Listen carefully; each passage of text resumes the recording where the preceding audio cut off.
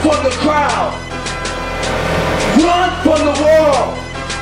Stop trying to play patty cake. Stop trying to play games. Stop moping and, and asking like, you know, well, who did I messing up to?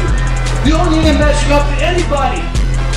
You're not supposed to compare yourself to your friend. You're not supposed to compare yourself to your neighbor. Do you know who you compare yourself? And you know who I want to be like? Jesus. Isn't that the goal? For us to be more like him? Uh, God was here and God showed his light through everybody. You missed one, just praise God for everything he does for us.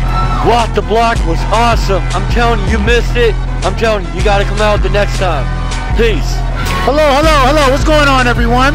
Um, this is Sean Poppy from the Hey Papi Promotions Network. I'm here live at the Rock the Block event in Maryland. Um, we're having a wonderful time. Um, I was going to talk about a little bit about what we do, as you can see. Um, I'm a promoter of all Christian events and community service activities. My network is used to let everybody know about everything we're doing all over the country and the world. You want to see more information about where I'm at? HeyPapiPromotions.com. H-E-Y-P-A-P-I and the word promotions.com. You can Google me also. Come check out what we're doing and come check out the next Rock the Block event coming soon, New Year's Eve.